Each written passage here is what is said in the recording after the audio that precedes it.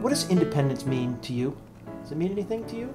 Independence means it's like get a job, you stay there, and you get make some new friends and get paid. It's a long ride. What is it? What does independence mean to you? Transplant. Gardening.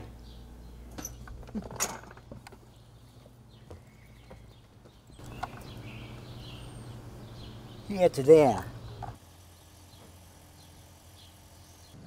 Ladies and gentlemen, Mr. Kenny McCloskey. Uh, I think that a really great display of independence for Kenny is What do you think? the process of, of acknowledging that there are upcoming events such as Mother's Day, birthdays, holidays, and he takes time for the people in his life who he cares about to go to the store, pick out a thoughtful card, make the transaction to purchase that. He signs it, he gives it to the person on the day that it is the holiday or event, I couldn't imagine nominating anyone else. Kenny does a lot in his house. He helps out even where he's not needed. Like he just goes above and beyond.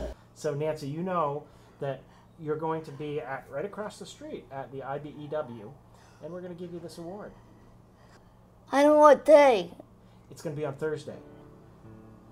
Will it be on TV? It's going to be on TV because you've shown that thing. It's called independence.